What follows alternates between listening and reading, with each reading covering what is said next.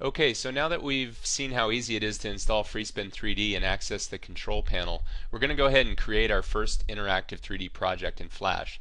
So to start out, we've got this banner and we've got one layer with text on it. And we're going to go ahead and from our FreeSpin 3D control panel, we'll select Import 3D and we're going to go ahead and check Import to Stage, which is the default setting and we're going to import an FL3D file which this is the format that FreeSpin 3D understands. If you don't have an FL3D model we have a conversion engine that converts 3ds files to the FL3D format and 3ds file is one of the popular most popular uh, 3D model formats. You'll find a lot of these models online. So we'll cover this in another tutorial so let's just go ahead and select import and we'll choose our 3D model which is going to be our cell phone We'll see FreeSpin 3D go through a process of importing that model and giving us a preview of it on the stage. Now if you were using the CS3 version of the extension you would use this component control panel and drag the FreeSpin 3D component onto the stage, import the 3D model into the component, and then you would need to select uh, the live preview button in order to preview it. And obviously the CS3 control panel looks quite a bit different than the, the CS4 version.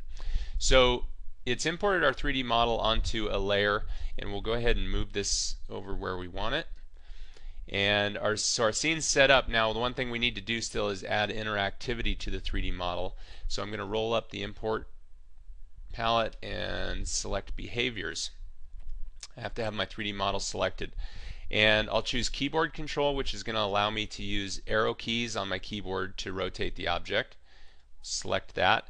You'll see that I get this little uh, warning message saying that the keyboard controls are going to ignore the animation frames which is this little drop down up here. We'll cover this in a separate tutorial. It's not important for this one. And we'll also choose mouse control which is going to give me the same warning.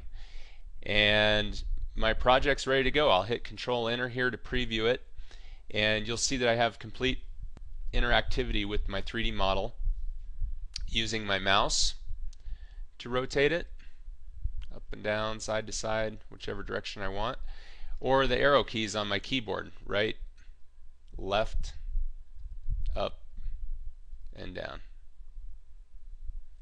or any combination of the keys. Now the really nice thing too is we use the most simple method for applying these behaviors but uh, within our behaviors panel there's another option to add behaviors down here which goes much more in depth and gives you more control over the acceleration of the object. Uh, you actually get snippets of the code so you can go in and um, expand on what we've offered here.